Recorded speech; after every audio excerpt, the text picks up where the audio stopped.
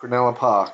This was never a place that we even knew of until we started our travels, and people said, You've got to go see this place. And we thought, Why not? So, on our way to Cairns, we called in there and had a look. Wow, what can I say?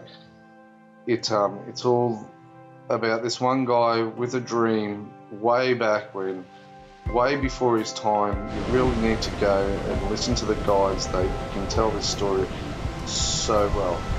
The people there are so passionate about it. This grand staircase we are walking down is all made by hand. The whole park, all the buildings, everything's all made by hand, made his own concrete. Um, yeah, you, you, you won't fathom it until you actually go there. The wildlife, like the abundance of fish, turtles, water. They say there's crocodiles, you don't see any, but you can never be too sure up this way. These whole buildings, all made by hand, unbelievable. Yes, this was a tennis court area and people would just come in. There was a whole area there that we were told was a kitchen area for dining.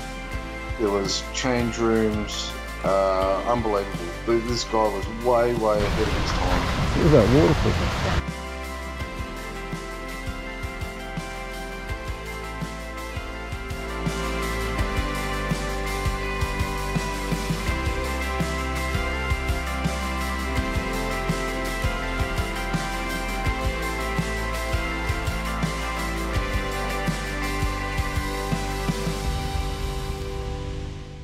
Gardens were so beautiful to walk through. You could spend hours walking through there. It was $50 entry fee. And, and you can stay there at camping as well. They give you a night's camping and you can do a night tour, which we've done that as well. Unbelievable. All these trees, everything was all designed by this guy. That was a, a tunnel which he tried to make aquarium out of this is all walking through the park.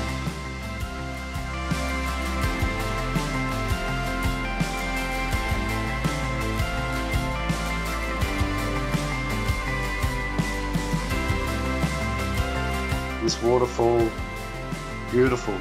And up the top there, he even made his very own hydro system. The first person to ever be able to do it in Queensland or up north, especially in those times. He had uh, power in the middle of the bush.